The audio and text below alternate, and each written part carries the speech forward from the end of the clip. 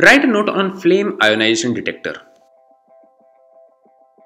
The principle of flame ionization detector FID is the ionization of molecules of the effluent gas in a hydrogen flame which results in a current increase.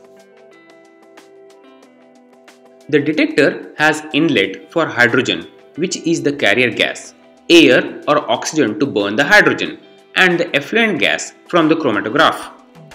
Hydrogen emerges through a hollow needle and is burned as it emerges giving a colorless flame.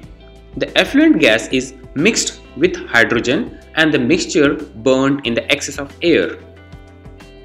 The thermal energy of the flame is sufficient to cause ionization of the molecules in the effluent gas. A potential is applied between two electrodes.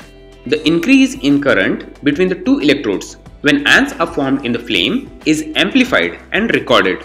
The ion current is approximately proportional to the number of carbon atoms which enter the flame. The FID is relatively simple and highly sensitive but destroys the sample. It is also insensitive to most inorganic compounds like water vapor and air. So if you like this video, please click on the like button and also subscribe to my channel.